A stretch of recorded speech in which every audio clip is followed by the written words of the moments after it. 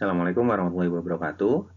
Pada segmen terakhir materi kuliah tentang alterasi batuan, yaitu di segmen 4 ini, kita akan belajar tentang alterasi potasik, kemudian kita akan lihat alterasi felspatisasi, kemudian ada alterasi turmalinisasi, serta alterasi yang lain, yaitu di sini saya berikan contoh alunit dan juga serpentin. Kita mulai dengan alterasi potasik. Jadi alterasi potasik ini dicirikan oleh keberadaan biotit dan juga potasium felspar yang terbentuk secara sekunder. Umumnya mineral lempung itu absen dan klorid itu dapat juga muncul, umumnya menggantikan uh, mineral uh, sebelumnya.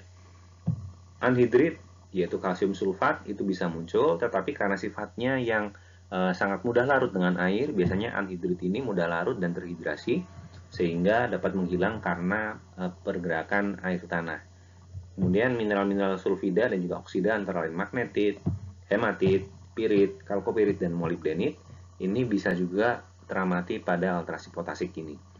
Pada alterasi potasik eh, temperaturnya cukup tinggi dan eh, setelah turun dan kemudian tergantikan maka kita bisa melihat adanya ubahan. Sebagai contoh di sini ini adalah mineral klorid eh, maaf ini adalah mineral biotit.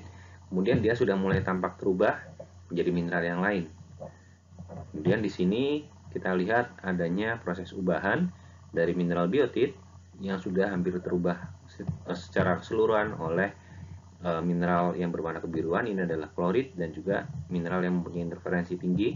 Kemungkinan ini adalah epidot.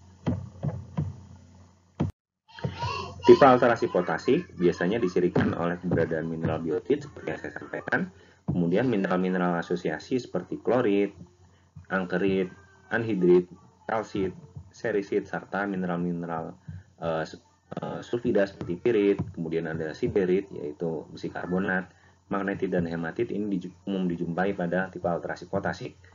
Ini uh, cukup berbeda dibandingkan mineral yang ada di sebelah atas. Mineral besi seperti pirit ini umumnya muncul pada alterasi argilik ataupun uh, intermediate argilik tetapi di bagian bawah kita akan menjumpai deposisi mineral-mineral sulfida dan oksida yang uh, lebih banyak dibandingkan uh, yang ada di bagian atas.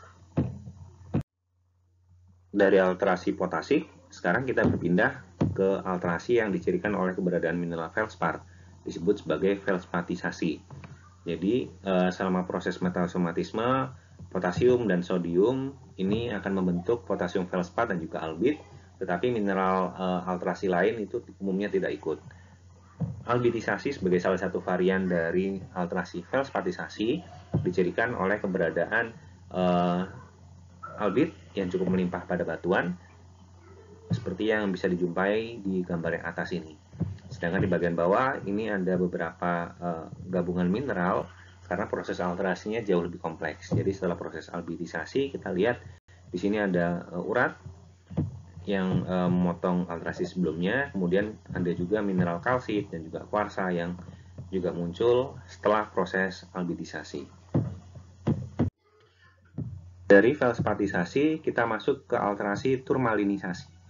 Jadi kita bisa lihat di gambar sebelah kanan, baik itu yang ada di atas dan di bawah, kita akan melihat mineral-mineral yang berwarna gelap, ini adalah turmalin.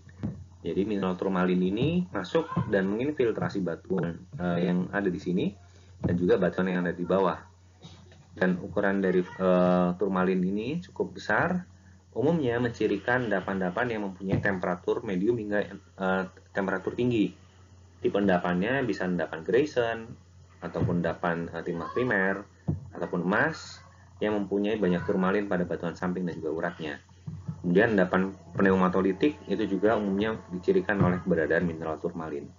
Sebagai contoh, di endapan uh, timah primer terbesar di dunia yang berada di Bolivia, batuan porfiritiknya teralterasi menjadi kuarsa, serisit, dan juga turmalin.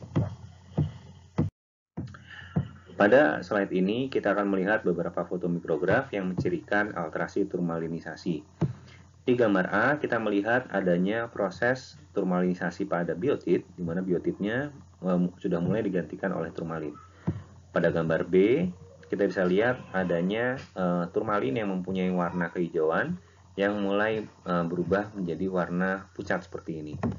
Kemudian ini adalah ciri dari mineral turmalin, bentuknya seperti uh, menjarum dan ada juga uh, mineral apatit yaitu kalsium fosfat yang ada di bagian uh, kontak uh, pada turmalin ini. Kemudian gambar D ini adalah uh, gambar yang di, diambil dengan mikroskop katodoluminescence, sedangkan yang di gambar E ini adalah setan tipis yang mencirikan adanya mineral turmalin yang berwarna gelap pada wall zone yang mempunyai warna pink hingga keputihan. Alterasi lain yang juga mencirikan eh, endapan-endapan hidrotermal antara lain keberadaan mineral alunit. Jadi alunit yang merupakan um, mineral aluminium silikat ini adalah uh, mineral yang mencirikan larutan hidrotermal yang sifatnya sangat asam Tiga alunit ini biasanya umum muncul bersama-sama dengan kaulinit dan juga diaspor. Pada pengamatan nikkel sejajar, alunit ini tidak berwarna dan umumnya mempunyai kristal tipis dengan arah yang uh, random.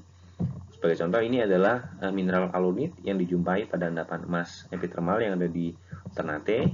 Kemudian ini juga sama, ini adalah uh, mineral-mineral alunit yang uh, dijumpai di uh, lokasi yang sama mineral alterasi yang lain, antara lain serpentin. Jadi proses pembentukan mineral serpentin yang disebut sebagai serpentinisasi umumnya dicirikan oleh eh, bentuk-bentuk seperti yang ada di gambar di bagian bawah ini, di mana batuan-batuannya yang berasosiasi dengan batuan ultrabasa dan juga batuan karbonatan. Keberadaan mineral serpentin itu bisa mencirikan dapan-dapan emas ataupun dapan-dapan nikel, baik itu sulfida ataupun latrit, dan kadang-kadang uh, serpentin ini bisa uh, berasosiasi dengan talc pada batuan karbonatan yang mengindikasikan adanya proses penambahan silika, air, dan juga magnesium ke dalam sistem. Jadi itu adalah gambaran dari proses alterasi mulai dari uh, alterasi propilitik umumnya di paling jauh, kemudian ada alterasi potasik, ada alterasi argilik. Jadi masing-masing alterasi itu bisa mencirikan um, karakteristik mineralogi yang berbeda-beda. Demikian yang bisa saya sampaikan. Terima kasih. Assalamualaikum warahmatullahi wabarakatuh.